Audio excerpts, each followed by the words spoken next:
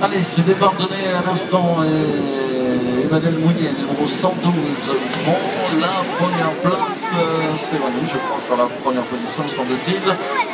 On va trouver ce. Euh, on va, ben, surtout les retrouver au centre du terrain parce que ça commence un petit peu confus ici le départ. Voilà, numéro 112, donc je confirme effectivement Emmanuel Mounier, donc un pilote du club de Cabario euh, sur la première place. Le voilà, poste commissaire numéro 6.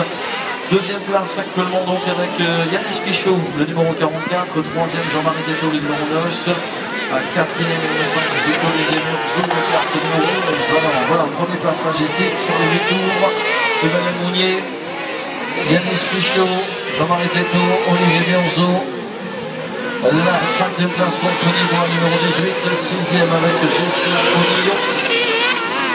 Premier passage pour la septième place avec Julien Fontaine, numéro 27 numéro 7, 9e Jean-Christophe Auger. Voilà pour l'instant à l'issue de ce premier passage la position de nos pilotes. Et euh, en attendant on va retrouver alors ici on a le numéro 8 retardataire voilà, qui a été un petit peu resté bloqué au départ Anthony Benno le numéro 8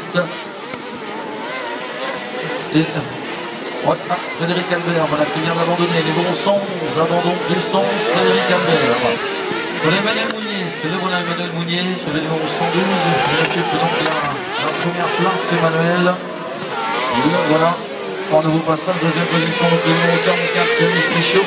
Troisième, Jean-Marie Détour, le numéro 9, le quatrième. Et bien, on retrouve euh, cet Olivier Murzo pour la quatrième place, toujours numéro 5, numéro 18 et sixième, Gislain Nillon avec le carte euh, numéro 2. 21 et 71, là on bataille tout au bout de la ligne droite, numéro